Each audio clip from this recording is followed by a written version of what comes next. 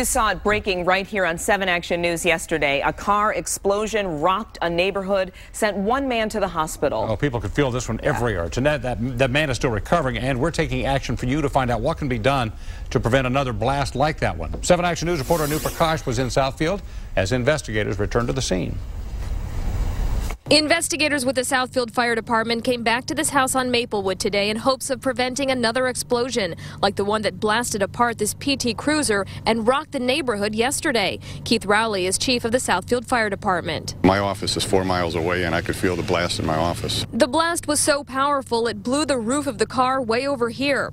Other car parts were sent almost 200 feet away. Investigators say a leaking acetylene tank in the car caused the blast. The driver of the car was trying to take these tanks to a scrapyard. The acetylene tanks were left over from his landlord's old plumbing business. As soon as he smelled gas, he got out of the car. That's when it blew up. The 55-year-old victim was taken to the hospital with non-life-threatening injuries. Anytime you move uh, compressed gas cylinders, you want to be very careful. You never put them in a confined space, uh, secure them, uh, transport them in an upright position. These cylinders, uh, most of them are very rusty. They're probably 20 to 30 years old. The gas inside can become unstable. Uh, laying them down flat is not the way to go, and that's what happened here. Investigators say there are 17 tanks inside this car and at least double that number inside the house. So what happens with them now?